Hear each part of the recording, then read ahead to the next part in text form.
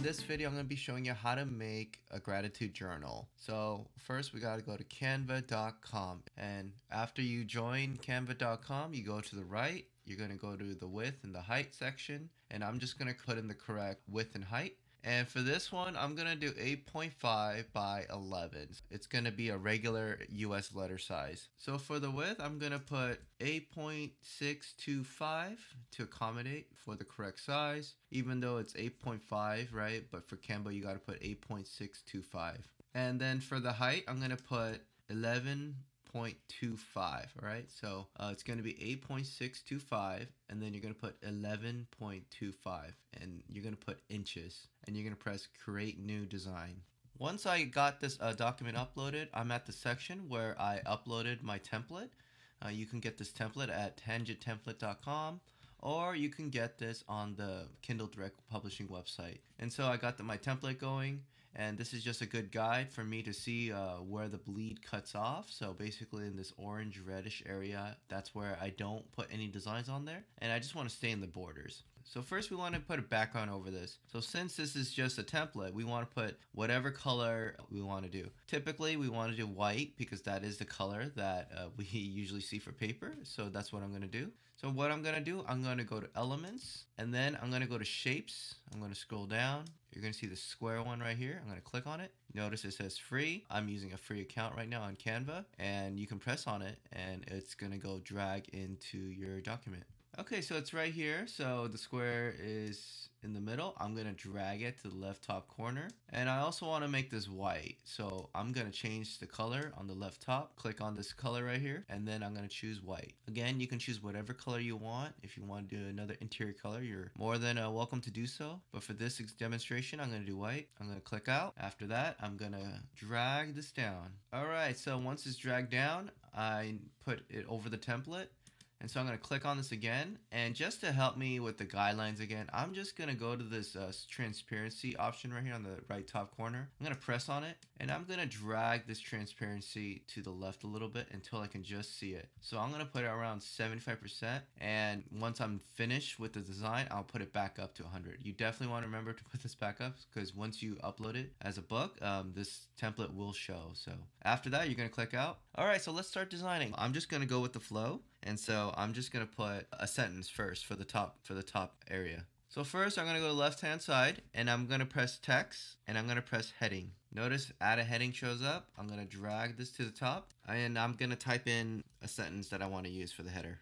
All right, so I put my little header right here. So it's today I am grateful for, and then I'm just going to add a, a dot there. So I put my sentence right here. It says, today I am grateful for. And I'm just going to make sure it's in the center. And as you can see, when I drag it, Canva does a really good job to help you with staying in the borders. So um, I'm just going to put it right in the middle. Okay, after that, I want to change the font style. So I'm going to go to the left side. And right here it says Open Sans. And then so I'm just going to click on the arrow. And then I'm just going to choose what I want to pick. Okay, so I chose uh, Cardo or Cardo. And that's the font I'm going to choose for this lesson. And so I'm going to start making the layout. Okay, so first I want to make a little box area, like a little outline right here. So I'm going to go to the left side. I'm going to go to elements. And then uh, for the shapes, I'm going to go to the right. And there's this one where there's like a little uh, outline. So I'm going to press on that one. And notice this one has two colors. So you can choose two different options. And so I'm going to choose the inside as white and the outline as black. So I'm to go to the left top corner right here. I'm to make this one white. So now that one's white. And then for this one, I'm to choose black.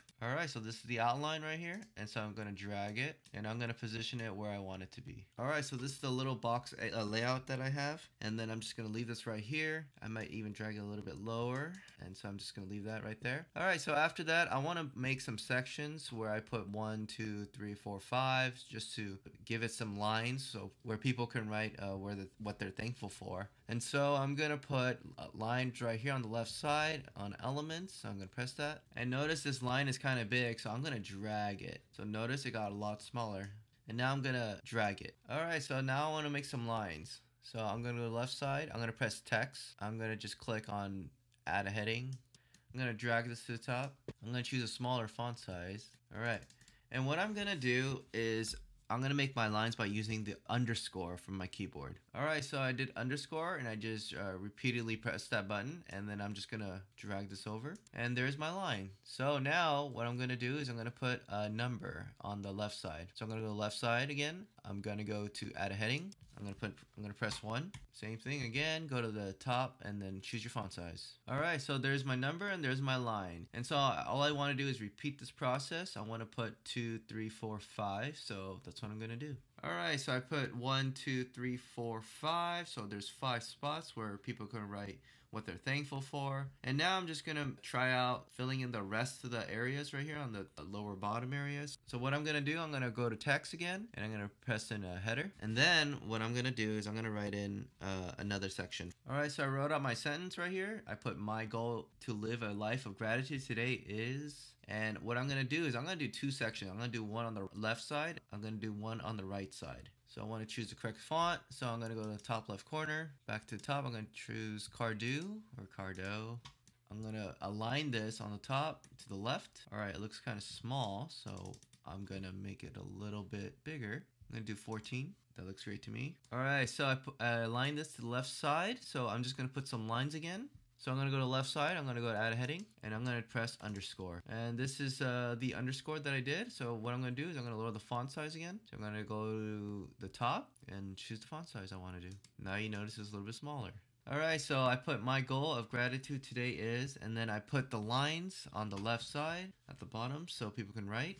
And then for the right side, I'm going to put a little section right here just for note taking. So it's just going to be a blank spot. So on the left, I'm going to, I'm going to go to elements I'm gonna go to the outline one, which is this one, I believe. And then I'm just gonna drag that and change the colors. All right, so I put the little outline right here and I also put notes. So what I'm gonna do now, I'm gonna actually touch up this uh, uh, quite a bit. I got the layout done, uh, but this is not exactly what I wanted to make it look like. So I'm just gonna work on a little bit and just come back. All right, so I did a, quite a few changes uh, just to give it a little touch up. So first you may have noticed on the left bottom corner, I just took it out because I just thought it looked better all overall. Basically, I just duplicated the, the box. And the other thing I did was too was I made sure to make all the fonts correct. So everything is Cardo. So this one's Cardo. And I made it font 10 size. And at the very top on the right hand side, I made the dates with these boxes. So just to give it a little bit more uh, design friendly look. And of course, I changed the font size of this as well. So all this to say that when you are done with the layout, you just want to make sure to just take a good glance at it and just see what you like and what you don't like. So I made a lot of new changes.